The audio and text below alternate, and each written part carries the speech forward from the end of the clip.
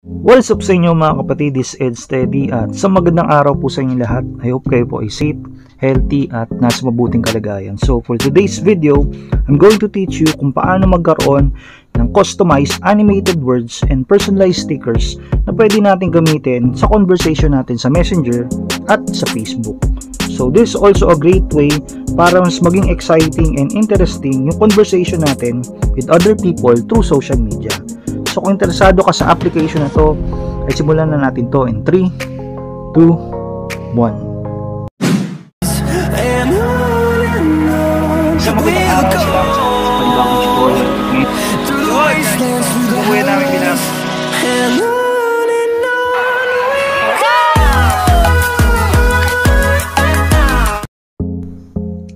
so nandito na tayo ngayon sa ating uh, mobile phone, okay? So yung unang gagawin natin mga kapatid is pumunta tayo sa ating Google Play Store. Hanapin natin yung Play Store. Yun. So sa Play Store, hanapin natin yung application na tinatawag na Bubble AI. So Bubble AI. Ayan. So ito. So install natin tong Bubble AI. Natin mga kapatid ah. Installing. And open natin. So after nating may open, i-accept lang natin. Accept, allow po natin. Wait lang po natin. Then after that, pindutin natin tong English, India. Pindutin natin tong Bubble AI keyboard. After that, yun, dapat nakaselect yung uh, English India. And then next. Okay. So after nito is gawin natin ay save lang natin. Okay. So after nyan, uh, pindutin natin tong accept and continue. Okay. And then while using the app, pindutin natin yan. Okay. Allow. Then after that, para magkaroon tayo ng mga personalized stickers, itong create your own stickers dito sa may bandang gitna, makikita nyo yung tinuturo ng kamay. Pindutin nyo po yan. Create your stickers. Tapos, to pindutin nyo tong while using the app. Okay? So, para mas maging personalized yung sticker natin, ang gagawin natin ay may options tayo dito, no? So, pwede kayong mag-take ng current uh, picture nyo ngayon okay, or gusto nyo naman mamili kayo ng mga pictures na nakasave sa inyong uh, smartphone. Okay? So, pindutin natin itong um, ito, nasa left side, nasa ibaba. Pindutin natin yan. Okay? And then, pili tayo sa mga pictures na nakasave dito sa phone natin. Okay? So, hanap tayo. tayo mga pictures natin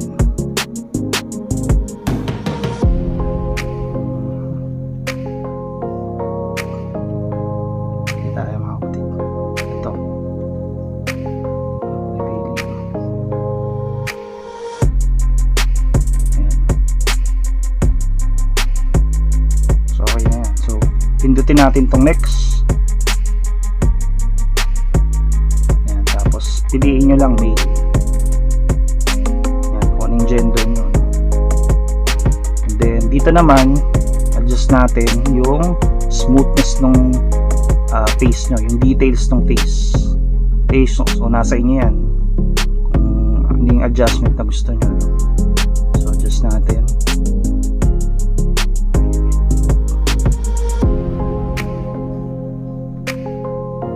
So kung di kayo satisfied dun sa ano, picture nyo, pwede nyo naman palitan yung picture nyo pero just for example no for this demo lang ito.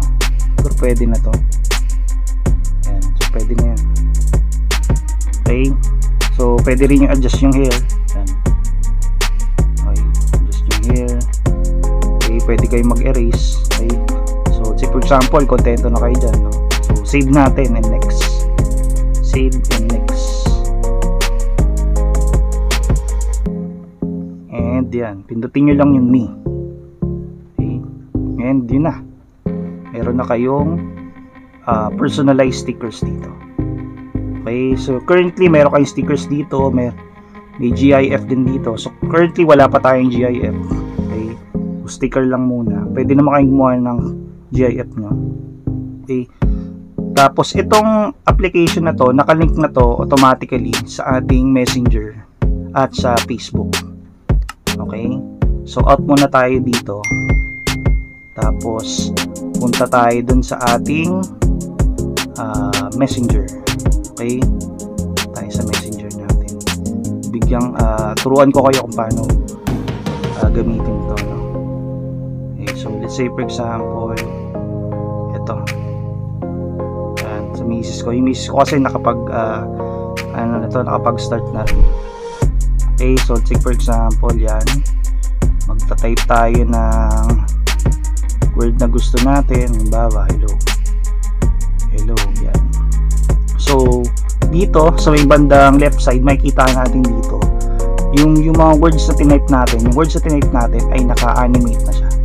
So click lang natin yan animated na word na yan and then ayun na lalabas na siya. Ron okay? So kung gusto lang gusto naman natin na ano lang plain text lang pwede naman bawa yan tapos enter nyo lang agad Hello, wrong spelling. Siya na, yan. Yan. Okay. And then, uh, iba pang features nito, pwede pa tayong mamili ng mga font. Okay, font, um, font uh, style. Okay, so pindutin natin sa may bandang right side. May letter dito, no? Ayan. Tinuturo ng kamay. So, pag pinindot niyan, makakapili kayo ng mga iba't ibang font name okay? So mamili na lang kayo. Dyan nabawa ito. Love square yung title. Yung font name niya I mean. Okay so type tayo. Um, natin ed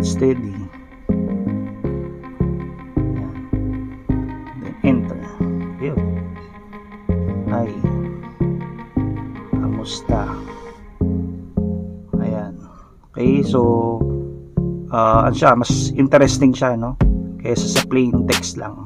Okay? So, pwede kayong makipag-communicate no? with animated uh, written images. Okay? So, explore pa natin ibang features nito. Um, itong katabi ng ano, font uh, name dito, ito, tinuturo ng kamay. So, dito sa ilalim, pwede kayong mamili ng mga ano nyo, ayan, uh, stickers. Okay, so para gamitin yan, mag-type kayo. Type kayo ng message halimbawa, kamusta?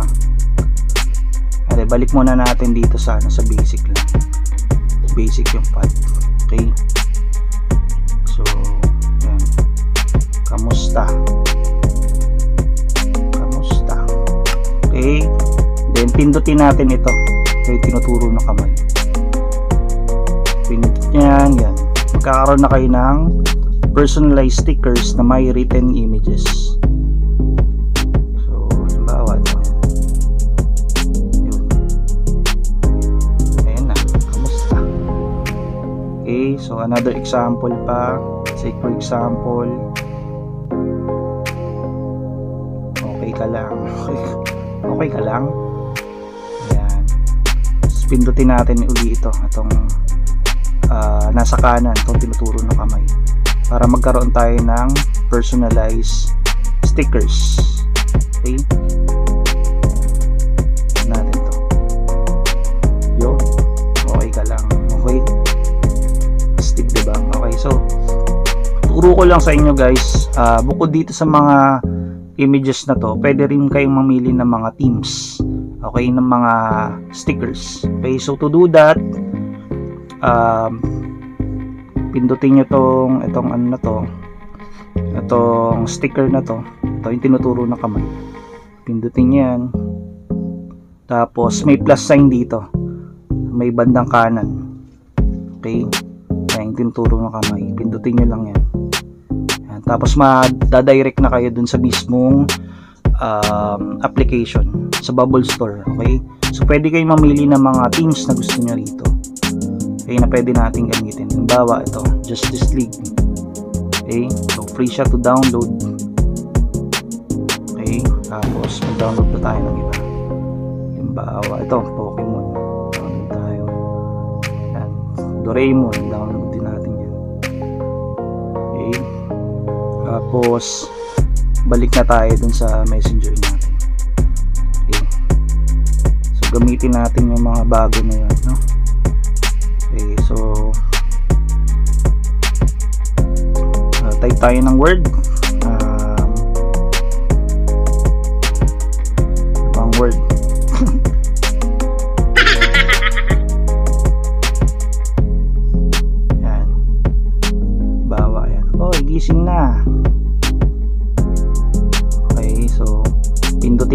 Natin ito. Itong uh, ito, yung tinuturo ng kamay. Pindutin natin yan. Okay tapos dito sa may badang uh, bahagi na to makikita natin yung mga teams. Ito team for Doraemon. Makikita natin. Uy gising na. Ito team ng uh, Pokemon. yan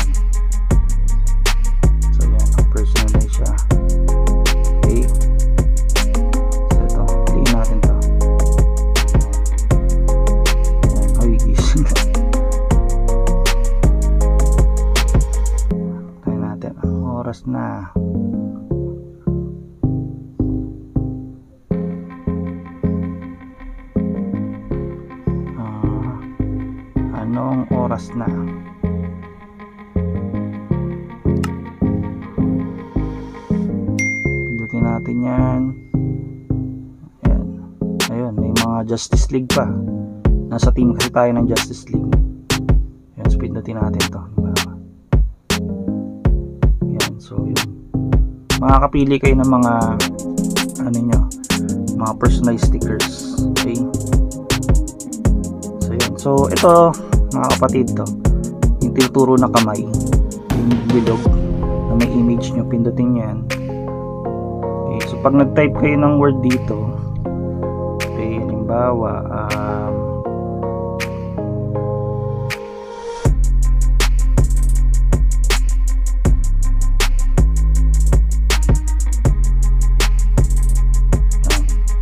Okay.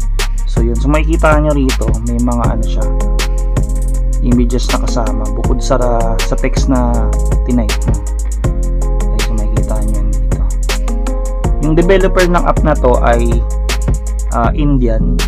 Kaya pag nag-type kayo ng Tagalog na words dito, minsan hindi nagtutugma dun sa ano, sa images. Okay? Pero kung English yung words na itatype nyo, halimbawa, um, greetings to, good morning.